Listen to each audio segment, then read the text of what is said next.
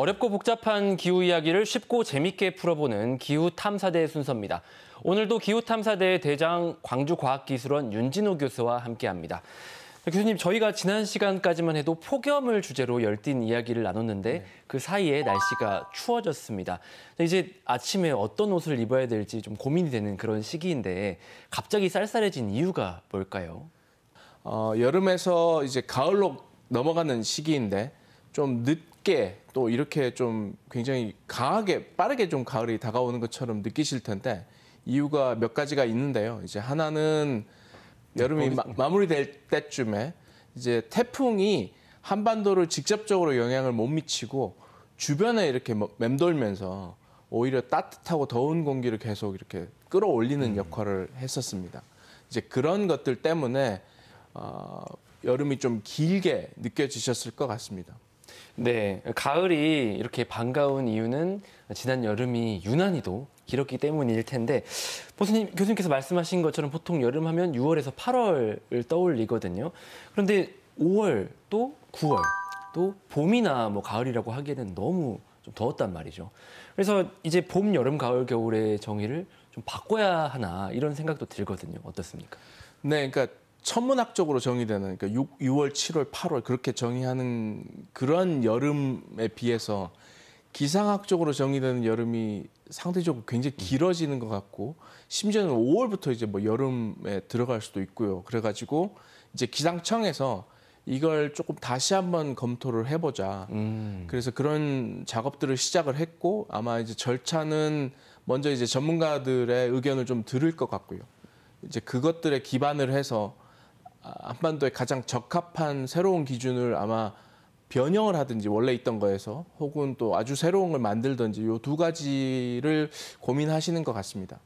우리가 어, 학창 시절에 배울 때 우리나라는 사계절이 뚜렷하다 이런 얘기를 많이 들었는데 그런 특징도 좀 옛말이 된 거 아닌가 싶기도 하고요. 앞으로 이런 가을이 사라지지는 않을까 이런 걱정을 하시는 분들도 많거든요. 네, 이제 많은 분들이 좋아하고 또 야외 활동을 하기 정말 좋은 시기가 왔는데요. 어, 그런 질문들, 가을이 정말 사라질까요? 이제 계속 여름만 올까요? 이런 질문들을 많이들 하시는데 결국은 가을이 왔고요. 또 겨울이 오게 될 거고 또 그러다 보면 봄이 오고 이런 계절의 변화는 계속 지속될 텐데 단지 이제 그런 기간이라든지 특히 이제 가을하고 봄이 조금 점점 점점 짧아지는 어, 그런 형태로 바뀔 것 같긴 합니다. 알겠습니다. 자, 가을 하면 또 빼놓을 수 없는 게 단풍인데 화면을 잠깐 보실까요?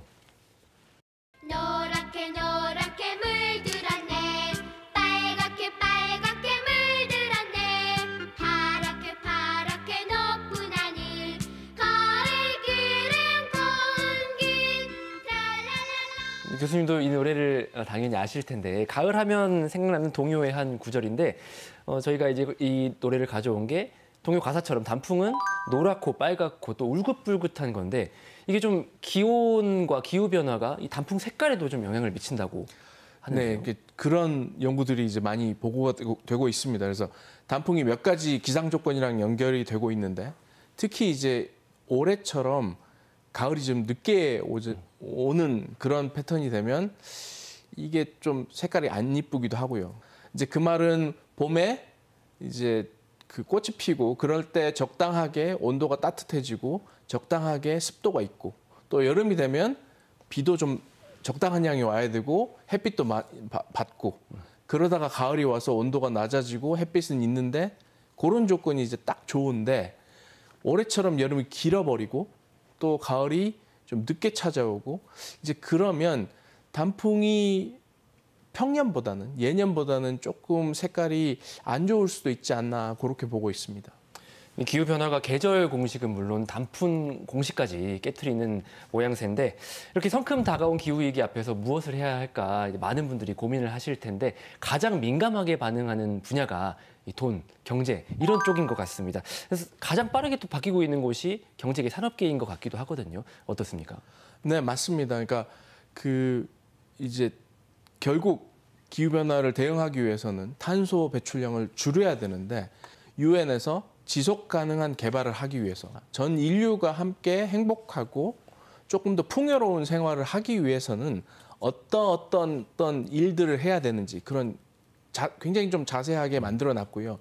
17가지 목표들이 있고 그 중에 이제 상당 부분이 기후 변화 혹은 환경 쪽이랑 연결돼 있고 또 상당 부분은 어떻게 하면 어, 불을 분배할지 이런 것들까지도 언급을 하고 있습니다.